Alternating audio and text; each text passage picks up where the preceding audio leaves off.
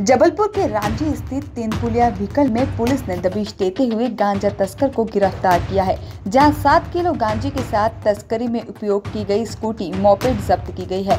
इस पूरे मामले में एक आरोपी पुलिस को चकमा देकर फरार हो गया है।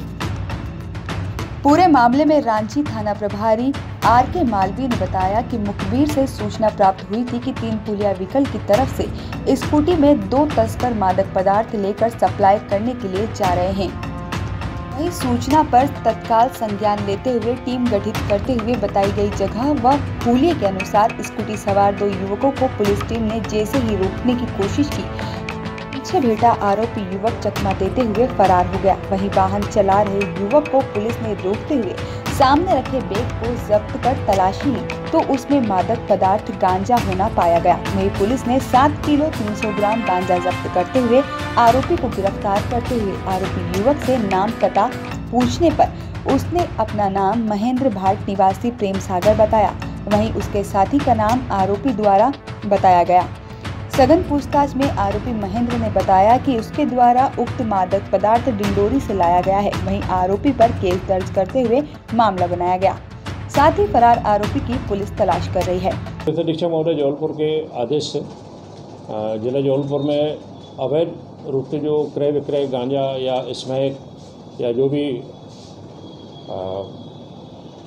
अवैध कृत्य हो रहे हैं, इस अभियान के लिए उन्होंने एक आपके इस आदेश के पालन में श्रीमान अतिरिक्त पुलिस अधीक्षक महोदय नॉर्थ एवं टीएसपी महोदय रांझी के निर्देशन में इस धरपकड़ अभियान के लिए एक थाने से रांची से टीम का गठन किया गया।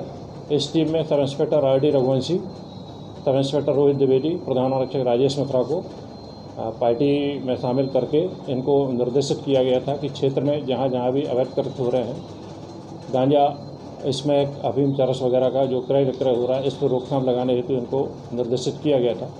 जो उक्त टीम के द्वारा कल दिनांक 12 आठ 2020 को शाम के समय मुखबिर की सूचना पर तीन पुलिया व्हीकल मोड़ के पास में एक व्यक्ति को स्कूटी के साथ पकड़ा गया जिसके पास से सात किलो तीन सौ ग्राम गांजा आ, मिला है।